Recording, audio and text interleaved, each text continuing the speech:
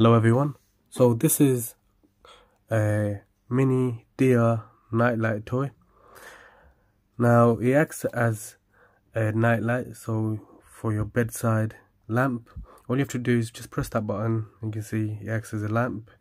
And you can actually adjust the position. So depending on how you want it you can actually adjust it.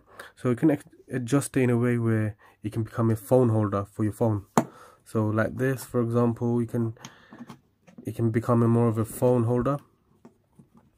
You have to make it in a way so you can put it like make it as a phone holder or use it as a orna um, ornament as well. So you can see you can actually play play around with the legs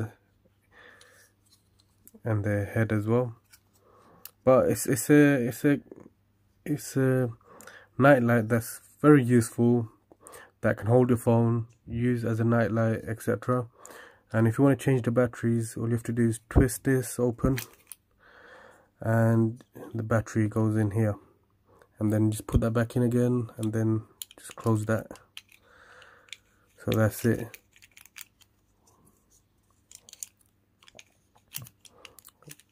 Okay